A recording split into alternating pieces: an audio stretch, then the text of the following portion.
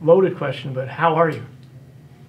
I'm doing great. It's uh, the experience has been very humbling. Yesterday at the White House was remarkable. Just everything, the way it's set up, presented, being able to look out into the crowd and, and try my best to, you know, to lock eyes with and, and look at every person that has had an impact in my life. That was really special. It's the first time that, from every aspect of my life, where somebody's been there, all sitting in the same room, and to see that was felt very blessed. Take me back to that phone call you were talking about. And they said, uh, be prepared to get a phone call from somebody. The phone call is uh, was in December, and been hearing the rumor for a little bit that this was potentially going to happen, and kind of the I'm the guy that I don't believe until I see it. So when they gave me the phone call, the White House staff calls you and they say, "Hey, can can you receive a call from the president on this day at this time?" And my initial reaction right, right off the bat was, "Does anyone actually say no to this?" Because it's uh, let me check my schedule. I think one guy maybe did, but my schedule was definitely open. So when the president calls you, he was very, uh, very friendly right off the bat. You know, calls you by the first name, tries to, tries to break the awkwardness with you, and tells you how proud he is of you and the, the guys you serve with, and, and what this means, and that he read over the award, and that he's, uh, he's officially approving it, and you know he looks forward to shaking your hand. What I thought was uh, most intriguing, most probably the most special thing about the phone call was he mentioned how the how the ceremony itself was embodied why our nation exists, and that's why it's his one his favorite ceremony to, to be a part of. And I, that really rang home. You know, that, that means a lot, especially you know 15 plus years of continued warfare since 9/11. It's uh, it really rang home with me.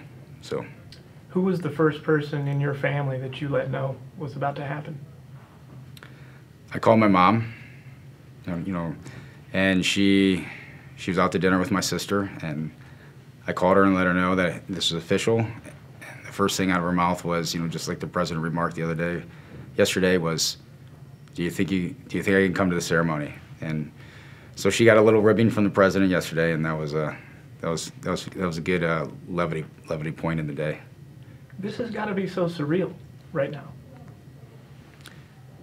It, it is surreal. It's you don't even notice it because you can't even see it when you when you look down. So the most surreal part about it is is being surrounded with your with your family and friends.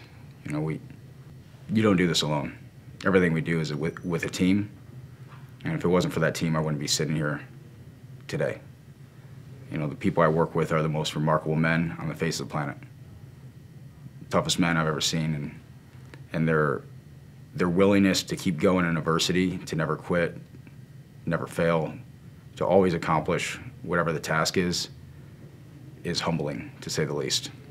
And I'm proud that I've been able to know, you know, men like that and to serve with men like that. Because I think once you leave this community, the likelihood of of having that opportunity will will be slim to none. What does your normal look like now? My normal looks like what it always has. I'm going to continue serving my country, being in the Navy, and uh, being a SEAL, and whatever, wherever that takes me, it's I'm going to do the task at hand. From the first time you raised your hand coming out of that MEP station, or entering for the first time, if you could go back and talk to that guy, knowing what you know now, experiencing what you've experienced, what would you say? Don't let me change a thing.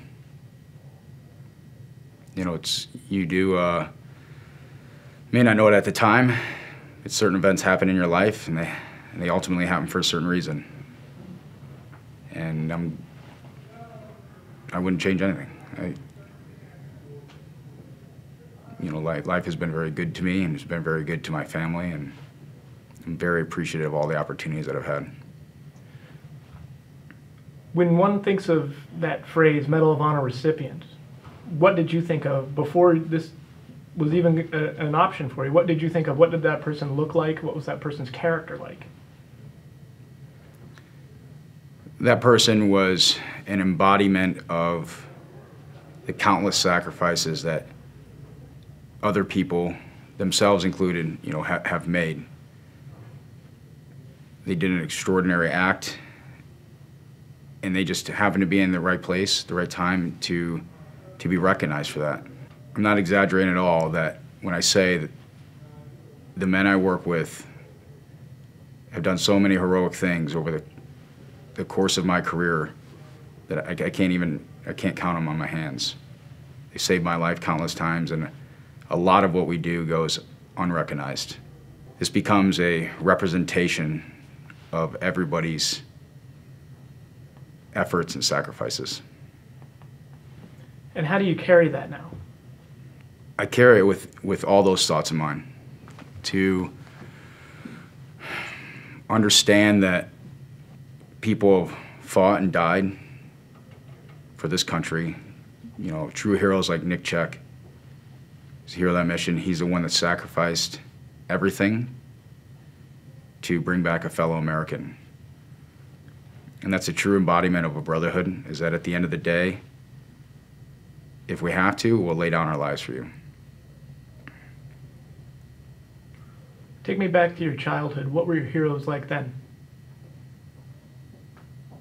My heroes are what I read in you know military books. The, the people that, that lived in uh, secrecy, that did hard hard missions. That and my dad kind of embodied that. He was a he was a very tough man. He was in the very end of World War II. He never talked about anything he did. He did many other things in his life, and he, he rarely ever talked about that. I was talking to a really good friend of mine the other day, and he had an amazing, you know, quote and about how our community thinks and a different perspective, and, and it really rings true. He said, you know, we we don't have time to look back.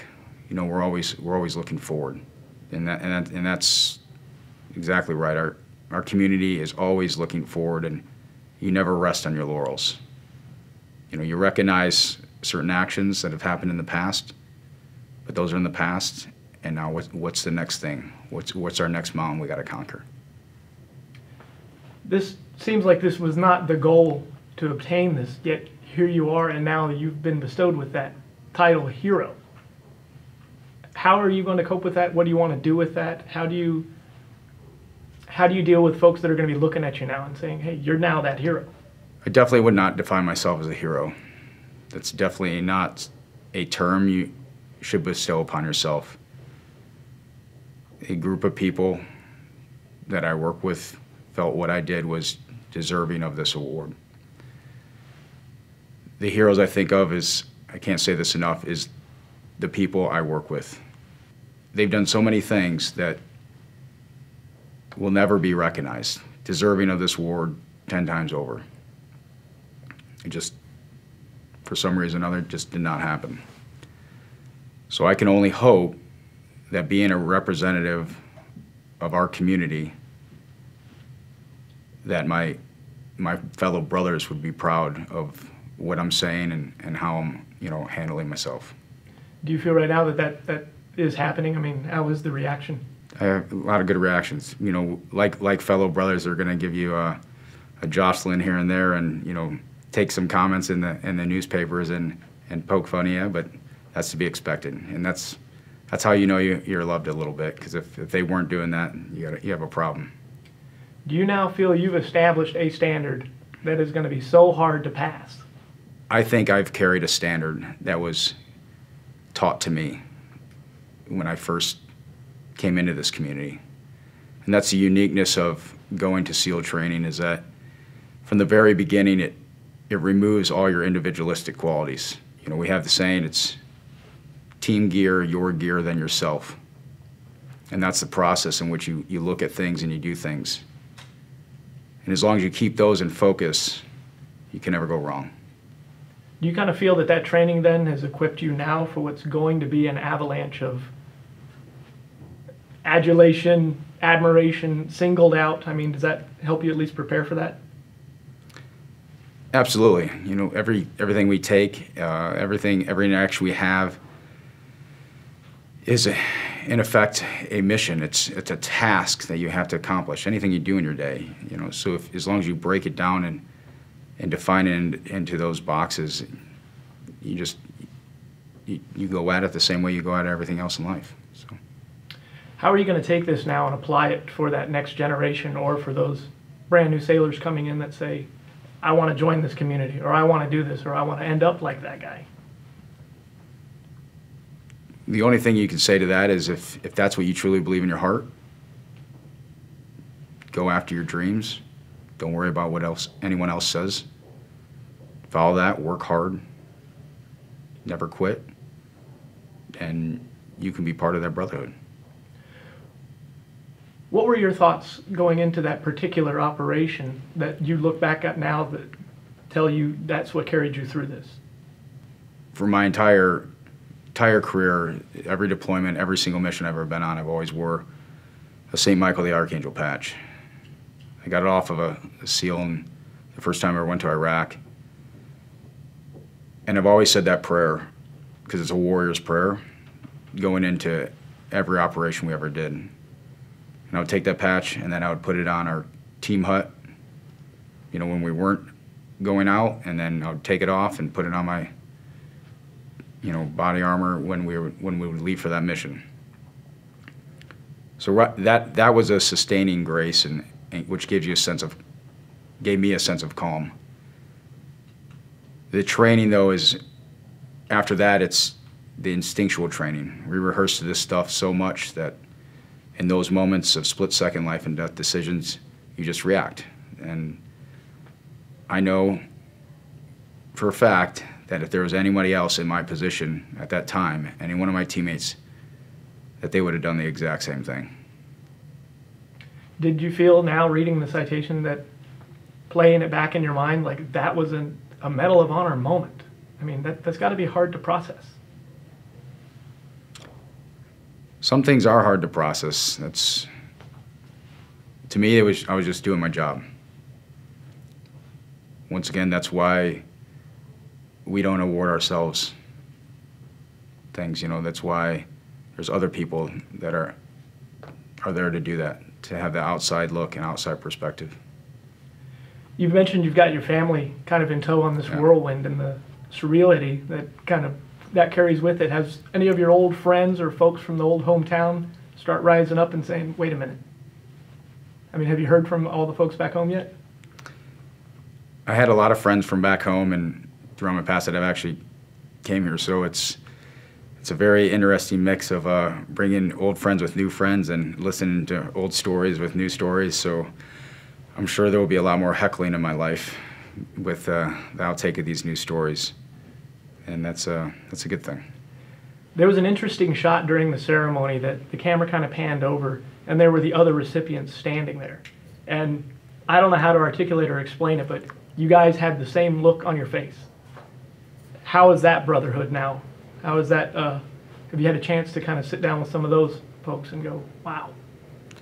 I have had a chance to sit down with some of them, and, and they're truly remarkable men. You know what they did for for their nation and defense of our freedoms is is heroic. And if people have the opportunity to, to meet them, I suggest they sit down and, and to listen to their story because they're they're inspiring, and they have a lot of good insight into life. You're now one of them. How does that feel? I'm I'm not sure I processed that yet. Right now, I'm just same old Ed, you know, continuing to do my job and wanting to get back with my brothers. Is there any part of this story now? Keep in mind that there will be sailors looking at this, just sailors of every walk of life. What do you want them to take away from this? This community is truly unique. And uh, even sitting here and, and, and trying to describe it is coming nowhere close to doing it justice. And that if there's something that they want to do, that they should go after their dreams. No matter if it's this or anything in life, is is they just need to to work hard.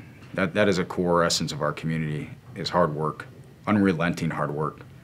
The sacrifices we make, the sacrifices, you know, my wife, my daughter makes, beh- everyone that's behind the scenes, it doesn't get any of the credit.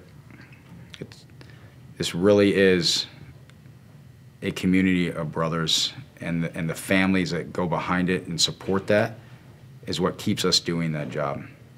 Because without them, we couldn't. So they have to understand that that that support network is strong. As long as they do that and develop that sense of teamwork, that's what it takes to accomplish things in life. Well, I want to thank you so much for taking this time and sitting with us and just chatting. And again, congratulations is not a big enough word. Thank you. All right, thank you very much. Thanks.